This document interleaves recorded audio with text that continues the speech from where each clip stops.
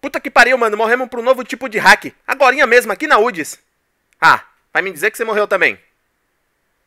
Não era hack. Vocês morreram pra D5 bug de som.